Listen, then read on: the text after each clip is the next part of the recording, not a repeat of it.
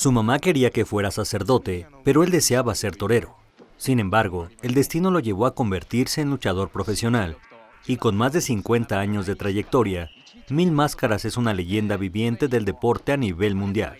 Yo creo que soy un ser como cualquier otro, un padre como cualquier otro, un marido como cualquier otro, este es el, este, un compañero luchador como cualquier otro luchador, un compañero deportista igual. Con cientos de triunfos obtenidos, decenas de reconocimientos internacionales, infinidad de películas en su haber y un legado imposible de igualar, Mil Máscaras es fiel convencido del valor de la humildad. Mi madre, yo gané una competencia de chamaco, tenía yo como 14 años, entre 14 y 15 gané una competencia deportiva y me dieron una medallita así chiquita.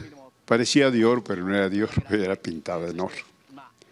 Y entonces pues me sentía, yo me la colgaba y salía para que ahora sí la vieran donde yo iba a estudiar.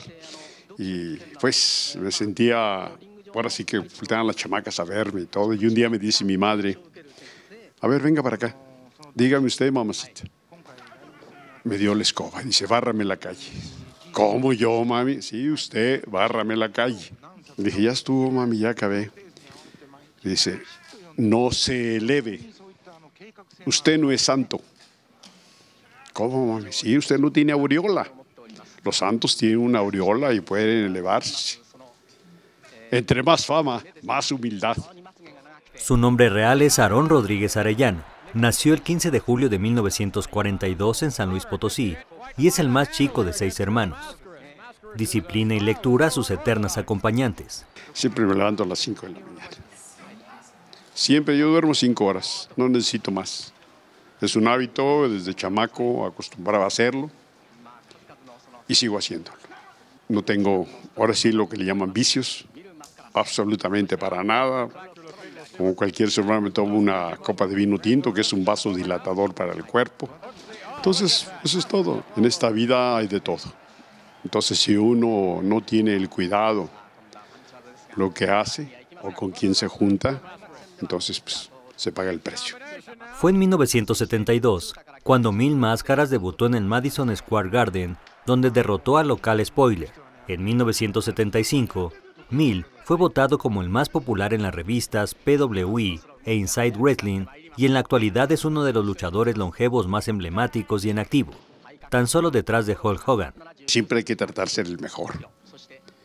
Y el clave del precio, yo siempre digo en las conferencias que doy en universidades y en muchos lugares. Yo soy profesor en emérito de la Universidad de Columbia. Entonces, cuando doy conferencia, este, siempre digo que no tiene ningún chiste lograr el éxito. Siempre y cuando estés dispuesto a pagar el precio. El precio del éxito es trabajar más que los demás. Y una vez que lo has logrado, trabaja el doble.